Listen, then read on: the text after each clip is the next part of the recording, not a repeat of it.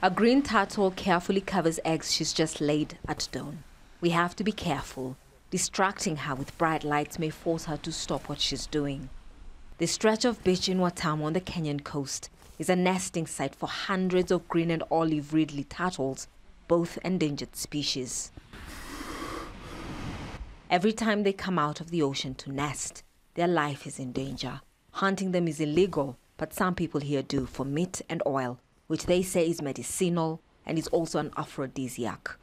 These residents of Watamu work for a local turtle conservation group. It's their job to guard the turtles. Okay, the biggest threat is poaching. There are some people who poach the turtles. That's why we are patrolling to, to keep the security for the nesting mothers.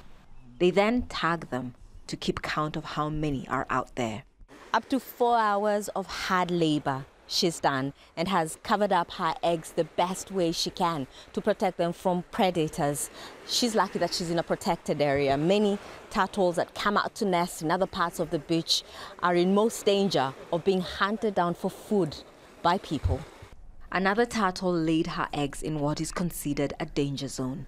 This part of the beach is too exposed. The turtle watchers have to move the eggs to a safer area. It's a delicate process. They have to make sure that the eggs are well protected from poachers and direct sunlight.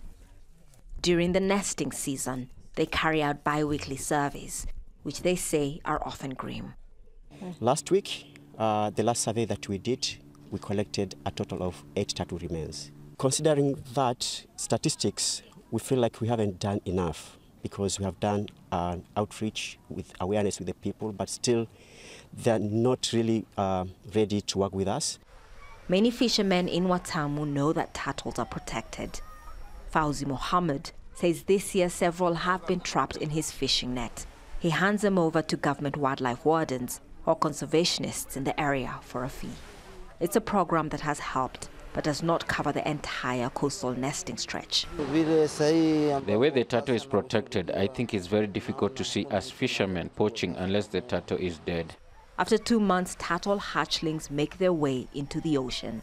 Only one in a thousand, though, will survive into adulthood. Catherine Soi, Al Jazeera, Watamu on the Kenyan coast.